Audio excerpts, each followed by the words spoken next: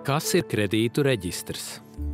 Kredītu reģistrs ir valsts informācijas sistēma, kurā Latvijas banka vāc ziņas par banku, ar bankām saistītu aizdevēju, krājēsdevu sabiedrību un apdrošinātāju kredītņēmējiem un to kredītiem.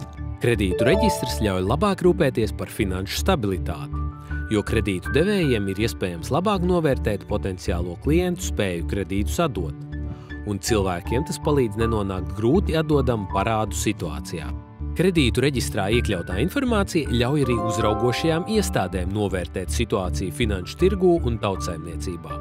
Tādējādi iespējams saulēcīgi pamanīt problēmas.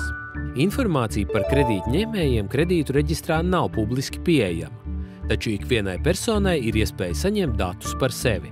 To var izdarīt klātienē Latvijas bankā, Rīgā un Liepājā, uzrādot pasi vai personas apliecību. Elektroniski parakstīta dokumenta veidā uz personas oficiālo elektronisko adresi, kredītu reģistra elektroniskās apkalpošanas interneta vietnē vai ierakstīt sūtījuma veidā uz personas adresi Latvijā, kā arī jebkurā citā Eiropas ekonomikas zonas valstī. Pārskatā persona redz informāciju par savām kredīta saistībām.